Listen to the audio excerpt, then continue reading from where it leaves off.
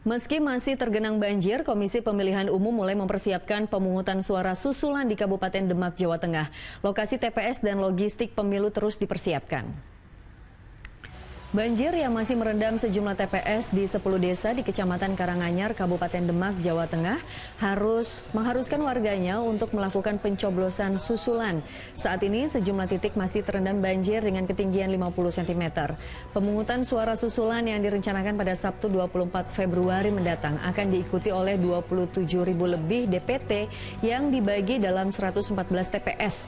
Untuk seluruh logistik pemilu masih tersimpan di gudang KPU Kabupaten Demak dan akan didistribusikan didistribusikan pada hari pencoblosan. memang saat ini masih banjir, rata-rata itu sekitar 50 cm ya rata-rata. Dan kami berharap pada hari pemungutan suara sudah bisa kering mudah-mudahan ya. Tetapi kalau memang sekiranya masih tetap kondisi seperti ini, kami mohon kepada pemilih yang namanya ada dalam daftar pemilih tetap atau yang telah menerima surat pemberitahuan agar tetap dapat menggunakan suaranya di TPS.